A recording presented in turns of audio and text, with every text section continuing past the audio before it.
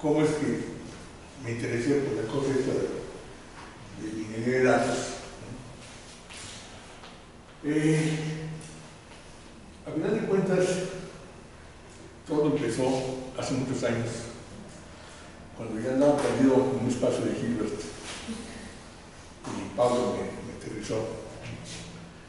Entonces, este, a partir de ahí,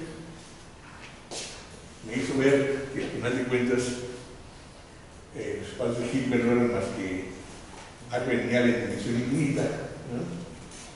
Y entonces las cosas que yo andaba haciendo, pues le dijo, piensa primero en, finito, en dimensión finita, y entonces este, eh, ahí fue cuando me, a pesar, bueno, a pesar de que yo había llevado un curso de, dos cursos de germinal, pero eran con el que era una cosa, empezaba hablando de espacio vectorial, pero no germinal, etcétera, ¿no? y había un, creo que ni siquiera tenía un capítulo de matrices. Entonces, bueno, eh, Pablo posteriormente, eh, después, de que, después de que yo le presentaba más lo que estaba haciendo, suponiendo que quería algunas cosas y decía, no, no, por ahí no. Entonces me, me a meter. Bueno, a mí eso que, de, nuevo era genial, pero desde otro punto. ¿no? Y también eh, cuando él se fue a, trabajar en el CIMAS, que era Limas, este, pues eh, me fui a trabajar con él, como ayudante, junto con Jesús. Y entonces ahí él me metió a la numérica. Eh, al estilo de Pablo, me dijo, aquí ese artículo, léelo, entiéndelo, ¿no? hace un programa, quiero que el programa, no que corra, sino que funcione, lo cual me llevó el primer paper como seis meses, y no corrió. bueno, pero a partir de ahí él me metió al problema de, de valores, ¿no? Y bueno, unas cosas que me gustaron y sobre el cual trabajé posteriormente en el posgrado. Bueno, este, otra de las cosas que, que aprendí con Pablo es a preguntar por qué. A preguntar por qué y para qué. Entonces, eh, los que llevaron, este, algunos de ustedes, los Saldillo, llegaron llevaron cursos conmigo de, de álgebra lineal, análisis numérico, pues trataba justamente de, de tener esa, ese enfoque, ¿verdad? Entonces, eh, me encontré en el 1995 un artículo, eh, eh, ¿cómo está cosa?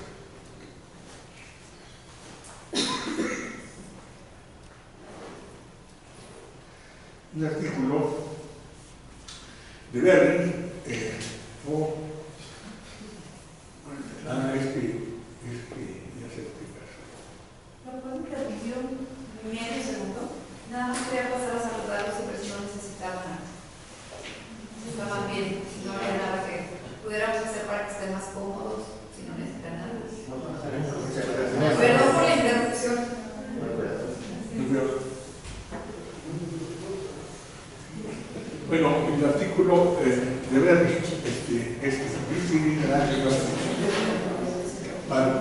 información.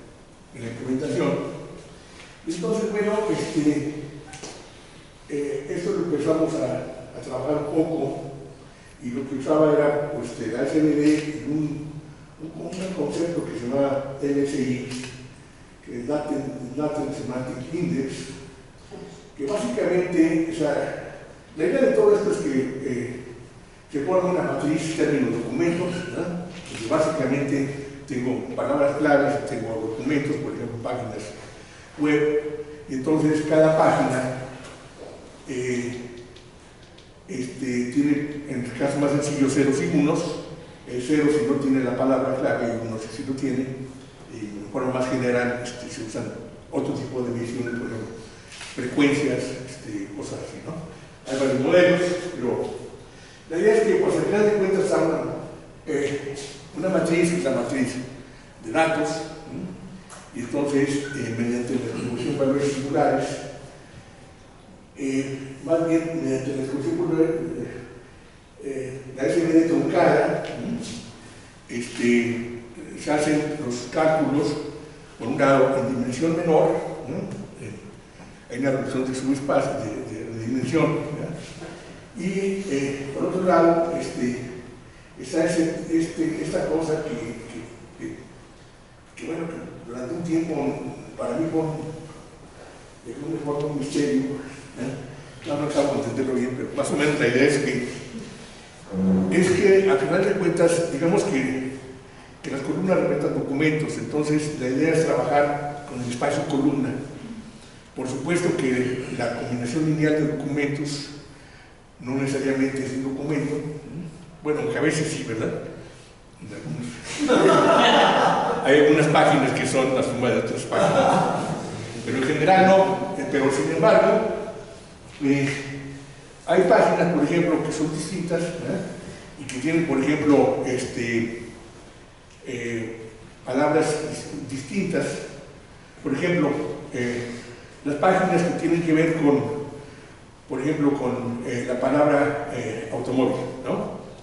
Entonces pueden haber páginas que hablen de automóvil, pero otras páginas no llaman automóvil, le llaman coche, y en otras carros, entonces este, el asunto es que la idea es que si uno busca, bueno, ustedes buscan en el automóvil, les va a dar también información de nosotros, ¿no? Y, cómo es, y, no necesariamente tiene que tener ahí este, un diccionario de sinónimos, ¿no?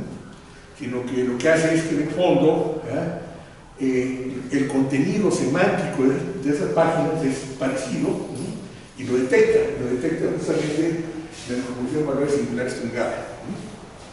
Que por otro lado, al truncar, este, está, eh, estamos eh, eliminando información superflua o redundante. Entonces, eh, pues para, para, mí fue una, una, verdadera revelación ese tipo de, de, trabajo. ¿verdad? Con Irma hicimos este, eh, algún eh, trabajo ahí e intentamos también usar espacios de Krilo y andábamos en esas el, el estudiante se fue, se casó, se fue, ya lo regresó. Entonces, este, ahora no sé qué se está usando, pero por ahí van las cosas, ¿no? Eh, y esto, a final de cuentas, nos lleva a la cuestión de, de, de, de, minería de texto, porque es un ejemplo de minería de texto, ¿no? Y, y es un ejemplo también de agrupación de, datos, ¿no? De, clustering, a final de cuentas, porque uno, uno este, hace una búsqueda, y entonces lo que encuentra uno es un conjunto de documentos que tienen que ver con lo que uno está buscando, ¿no? Entonces, este, Eh, actualmente estoy retomando, después de un tiempo, esta idea, ese tema que estamos tratando de, de hacer eh, cosas con alteraciones materiales negativas. ¿no? Ahorita un tesista, que a veces no se va. Y aquí también estamos empezando a trabajar con, con Marisol, justamente en ese tema.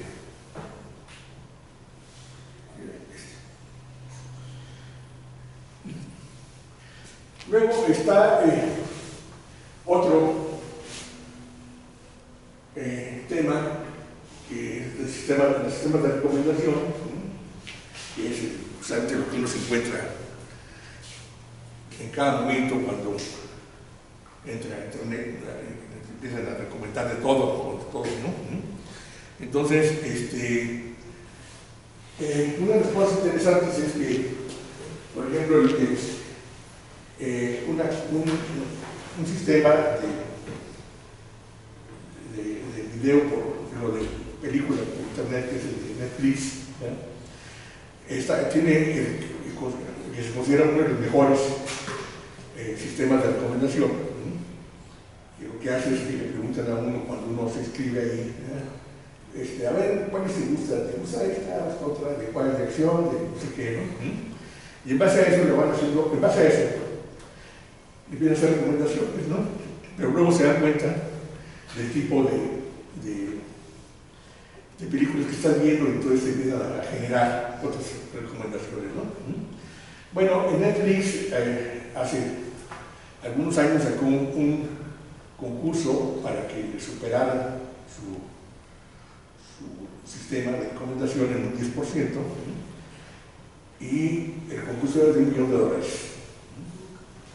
Entonces, eh, dijeron un año, pero el primer año ¿eh? nadie le pegó, nadie le dio. Dijeron, bueno, otro año. Y el segundo año tampoco. Sin embargo, el segundo año hubo uno que destacó, que casi lo logra, sacó el resultado. Y al tercero ya lo logra. ¿no?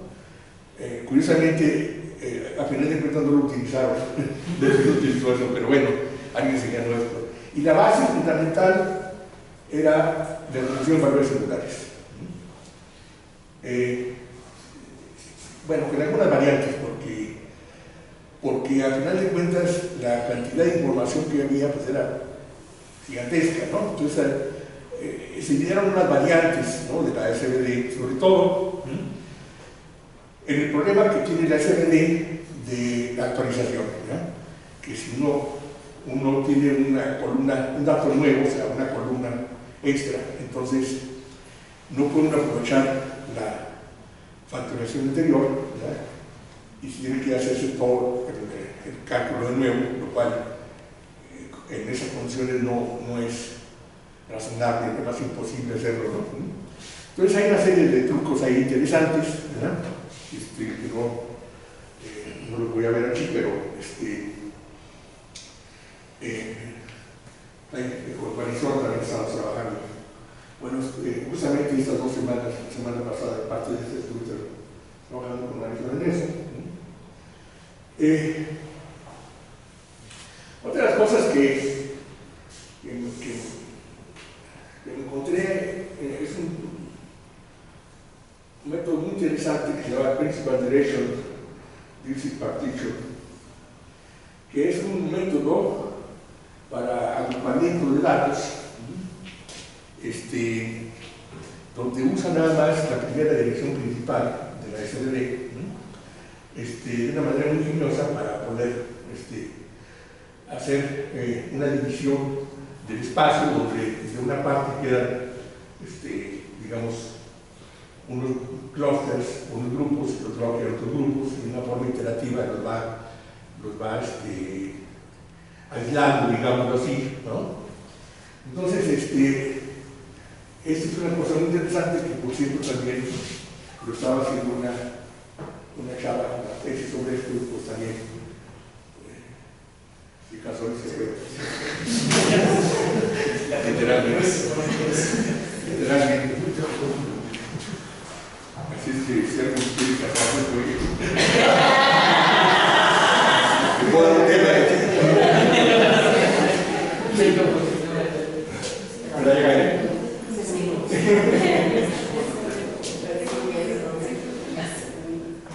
Bueno, en, en ese camino, al final de cuentas, este, surge.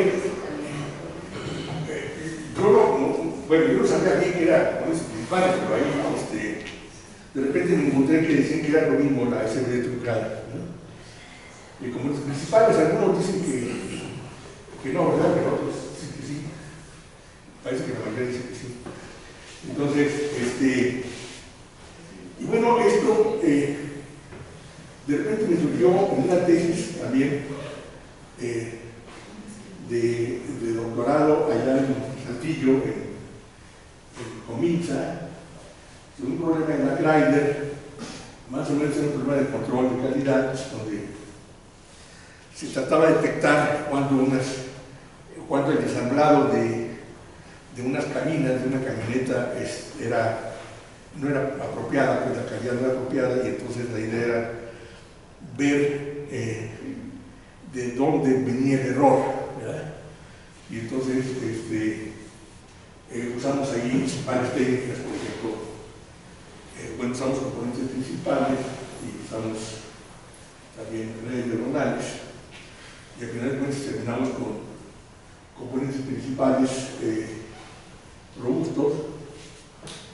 Y aquí un- una cosa interesante, porque uno se da cuenta justamente de la información que uno obtiene es información pues, de mala calidad, de cuentas, incompleta, o a veces eh, los datos, por ejemplo, aquí había una serie de sensores que estaban midiendo cosas, entonces a veces fallaba un sensor y no estaban los datos, o a veces, o a veces este, empezaba a fallar, pero no que, no que dejara de funcionar, sino que daba, daba este, eh, datos erróneos, pues, ¿no? ¿Ya? Se convertían en outliers, ¿no? Entonces, a final de cuentas tampoco terminó. Bueno, tuvo problemas, problemas, ahí sí tuvo problemas. este. Era al revés, se estaba negociando. Y ya, ya, ya tenía todo, y no, ya no necesito que salga. Ya, en fin, otro drama. Eh, en esas andaban cuando también ahí, en el 2002, eh, aparece un articulito por ahí que es este de Ah, no puse aquí, bueno, ese es de Moller, ¿no? Moller. ¿no? Y entonces aquí habla sobre el cálculo de PageRank ¿no? de Google, ¿no? o sea que es lo que permite, eh, cuando uno hace búsquedas en el Google, ¿no? Este, le da una serie, bueno, la, las- la información que le arroja uno, ¿no? lo interesante es que la- las primeras son las que tienen más información de lo que uno anda buscando. ¿no? Y como uno avanza, la, la información se vuelve más pobre, ¿no? Entonces, ¿cómo saben ¿eh? que, que uno anda buscando justamente eso? ¿eh? Es decir, que dar la información lo mejor posible, ¿no? Bueno, lo que hace justamente es hacer un ranking de todas las páginas web, le dan, las clasifica, ¿verdad? y entonces, eh, en ese sentido, dentro de los resultados que obtiene, este, escoge aquellos que tienen mayor calidad y sabe que son de calidad. Y ese problema es un problema de vectores. El resultado, o sea, ahí, aquí ahí se plantea un sistema de ecuaciones. Bueno, perdón, sí, es un sistema de ecuaciones, pero al final de cuentas eh, hay un parámetro ahí donde al final de cuentas lo que tenemos que resolver es un problema de, de encontrar un ¿verdad? Y donde la matriz es una matriz estocástica. Y entonces, bueno, eh, bueno, hay la versión, hay la versión determinista, y la versión probabilista. Entonces, bueno, eh, aquí, este, también con Marisol y con ¿no? Este, hicimos un trabajito ahí describiendo justamente las ideas. Y ahí aparecía una cosa interesante, y es que usaban el método de la potencia. Cuando el método de la potencia estaba, estaba ya en, en, este, en los museos, en los museos del análisis médico. ¿no? Eh, y entonces, ¿por qué? Porque eso, eh, la cantidad de información tan grande, la matriz eran tan grandes que, que los otros métodos simplemente no, no funcionaban. ¿no? Y esto plantea la, eh, plantea la, necesidad de empezar a trabajar con, con matrices, operaciones matriciales a gran escala. Entonces, este, eh, bueno, eso nos, nos, motivó a otras cosas. En el 2006 aparecen eh, tres artículos en el Science de Journal Computing, ¿eh? tres artículos en, el mismo número, en el primer número de, de, de este año, es eh, de lineas retrocedentes. Entonces, eh, aquí están los algoritmos Monte Carlo rápidos para aproximar multiplicación de matrices. Eh, este para calcular aproximaciones de rango bajo de una matriz, que es básicamente, digamos, equivalente a la SD de trucada, ¿verdad? de hecho es básicamente la SD de trucada y una nueva descomposición que se llama CUR, SUR. Entonces, eh, y yo empezamos a darle vueltas a esto. En particular, dijimos, es que ahora con esas herramientas ya podemos tratar de ver cómo funciona el método de la potencia, a ver si funciona, si es una buena idea usarla, usar el método de la potencia para problemas grandes. Sobre todo estamos pensando, como voy a ver un ratito, en problemas relacionados con segmentación de imágenes por métodos espectrales. Y entonces, bueno, este, ahí sí, yo digo sí, este, sí terminó la tesis. Eh, sin embargo, no pudimos hacer eh, muchos experimentos porque, porque las muestras tenían que ser muy grandes. Es decir, para que funcionara, casi no en funcionamiento necesitábamos que las matrices fueran muy grandototas, ¿eh? y la muestra, una parte pequeña de esa, pero esa parte pequeña este, pues tenía que ser a su vez grande. Entonces, en ese momento pues no, no tuvimos la, digamos, las herramientas para poder trabajar los, las, los, los, datos eh, de esa manera, porque no, no, podíamos hacerlo en memoria, ¿no? sino tenemos que hacerlo en este, memoria, memoria física. De cualquier manera, sí eh, se vio que efectivamente estaban funcionando eh, las ideas de acá, ¿verdad? Y este, por otro lado, eh, después de después trabajando lo, mismo, hicimos con, con Valia y con María Rojas, este, que trabaja allá en, ¿cómo se llama este? Eh, hicimos nosotros eh, una implementación de productos de matrices, bueno, porque ellos daban una forma, dan una forma de construir una, una distribución este, de probabilidad en base a las columnas de la matriz, y ellos demuestran que hay una, eh, una distribución óptima, y sin embargo nosotros en las eh, en, las eh, experimentaciones que hicimos, nos dimos cuenta que, en, el caso de matrices que provenían de imágenes, este, no era la óptima teórica, no era la óptima, no era la mejor eh, numéricamente. Y curiosamente, la, mejor numéricamente era la distribución uniforme.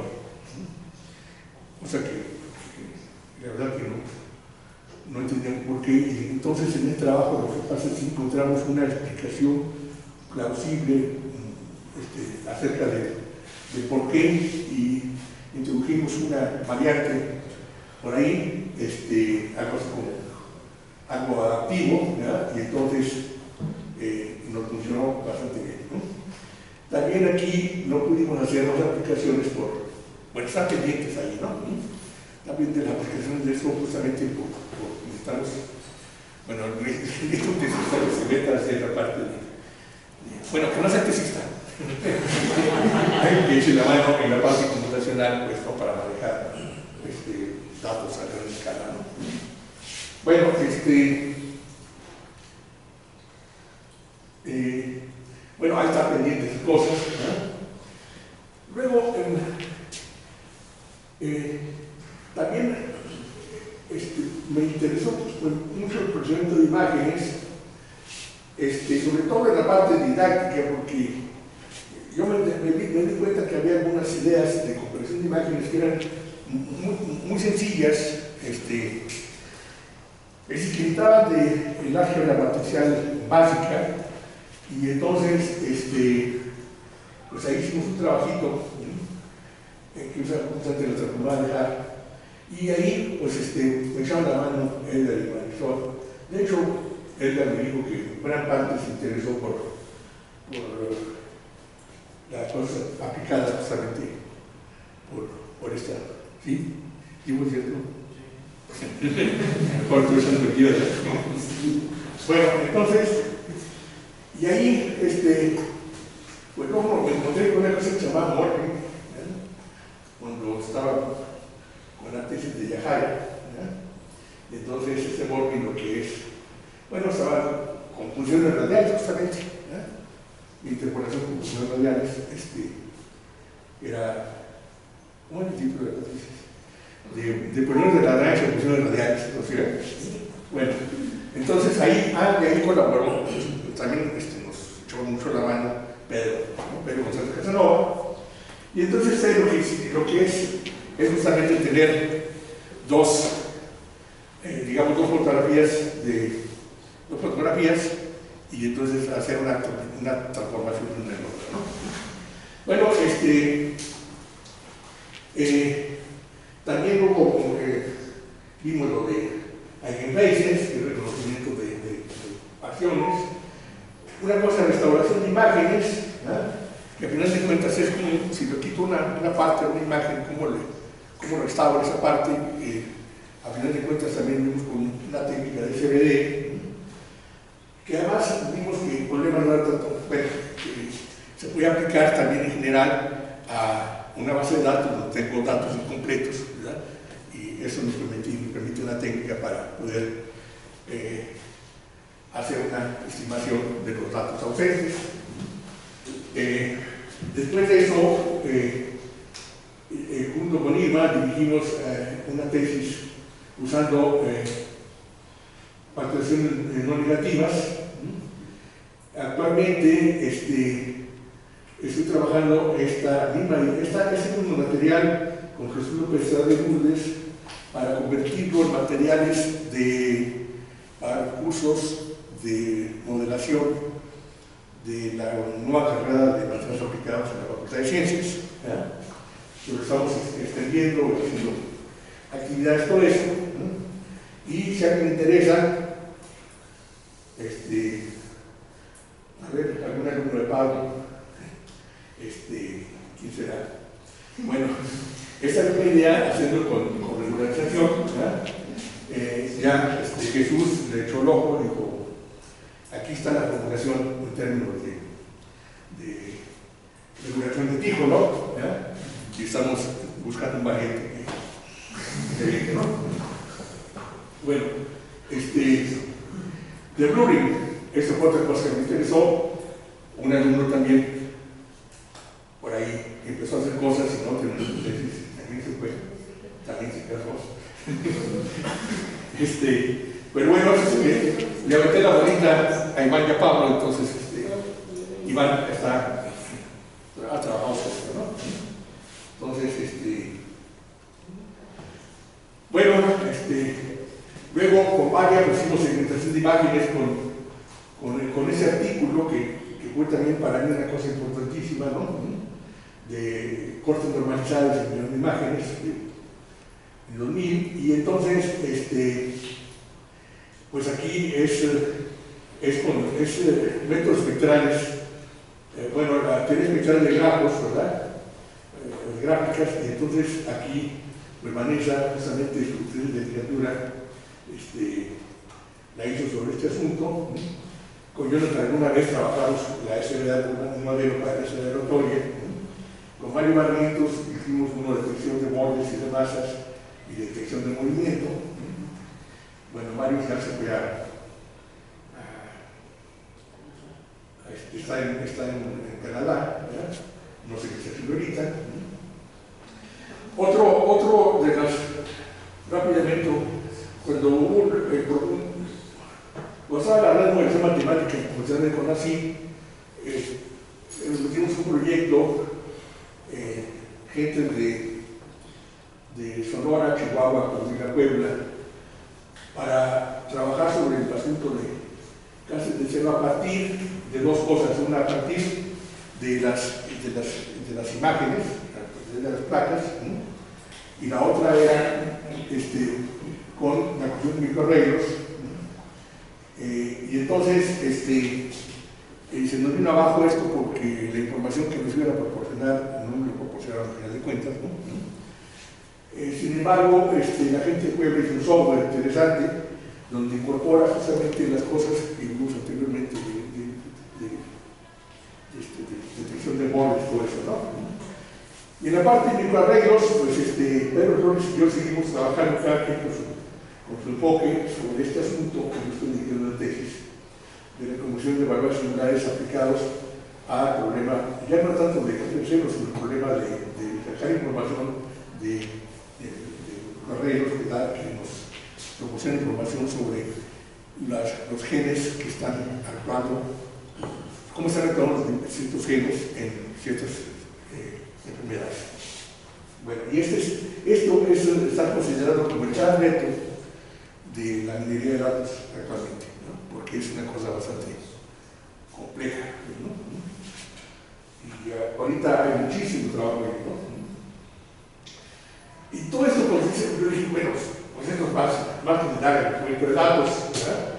Y entonces con José Luis hicimos eh, algo sobre Camis que está considerado el más simple y mucha gente lo desprecia, pero nosotros nos dimos cuenta que tenía sus detalles, por ejemplo, y unos aspectos topológicos como de las de los, gru- de los grupos, y, los- yo me interesaba porque se puede, se puede combinar con otros, por ejemplo, con, normalizado, ¿verdad?